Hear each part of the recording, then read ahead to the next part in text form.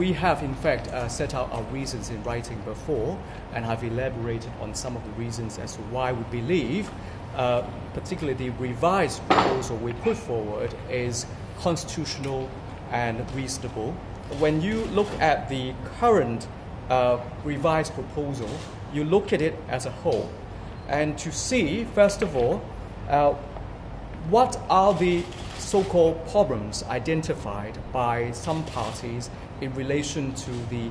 original proposal, to see to what extent the revision uh, could address those concerns. And once you put things in context, uh, some of the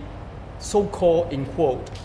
anomalies uh, could in fact uh, disappear or could be addressed uh, in the revised proposal, then you have to look at it in that light.